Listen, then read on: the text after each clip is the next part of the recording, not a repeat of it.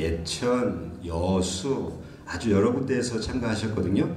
조금 멀리서 오셨어요. 서울 동두천에서 오신 중년부 참가자 이문정 선생님의 연인 들어보겠습니다. 큰 박수로 환영해 주세요.